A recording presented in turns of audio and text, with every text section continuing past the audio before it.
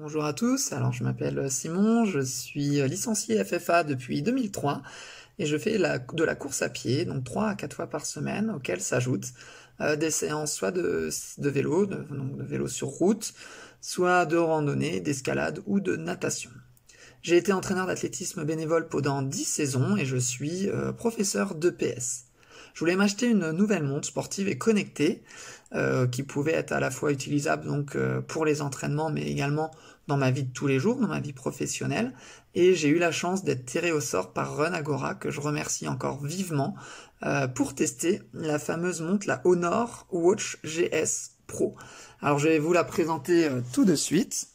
Alors voici euh, sa boîte de, présentation, la boîte dans laquelle elle arrive, et nous allons la, découvrir ensemble. Voici la, la, fameuse montre. Je vais la sortir pour que vous la voyez encore mieux. Hop. Et donc euh, voilà, donc c'était le modèle bleu. Ici, on est sur l'écran d'accueil et comme c'est une montre, c'est assez fantastique, elle donne l'heure. Euh, on voit également donc la météo, euh, le voyant de, batterie, le rythme cardiaque, l'activité du jour. Bien sûr, euh, on peut changer ici la, présentation, hein, cet écran d'accueil, il y en a, il y en a pas mal. On peut voir qu'il y en a vraiment tout un tas, et on peut aussi le changer depuis l'application. Donc cette montre est très simple d'usage, ça c'est quelque chose de très positif. Si et l'écran est tactile. Donc ici on peut voir si on a des messages par en bas, par en haut on a tout ce qui est paramètres et vers la droite ou la gauche on a exactement la même chose, le rythme cardiaque, le stress, la météo, euh, s'il y a de la musique euh, et notre activité du jour. Il n'y a que deux boutons, un en haut, un en bas. Et euh, celui qui est vraiment utile, c'est celui du haut finalement, puisqu'il donne accès à tout le menu de cette montre, donc les entraînements par exemple, avec les différentes propositions qui sont faites. Euh, il faut savoir que quelques programmes d'entraînement sont proposés, mais ils sont pas très intéressants. L'historique d'entraînement, euh, tout un tas de tout un tas de petits outils. Moi, ce que j'aime bien, c'est le minuteur, vraiment très pratique en EPS. Euh, donc il y a tout un tas de trucs proposés, et puis on peut en plus mettre soi-même le temps qu'on veut, l'alarme, lampe de poche, etc.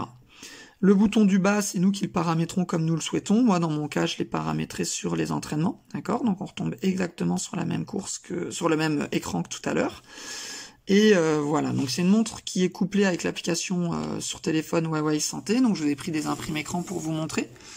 Ici, on peut voir donc la page d'accueil avec euh, donc notre activité quotidienne en haut, notre historique d'entraînement, on peut revoir les différentes séances, le rythme cardiaque, notre poids, etc. Et ça, c'est la page après une séance. Donc moi, en l'occurrence, c'était après un footing de, décrassage.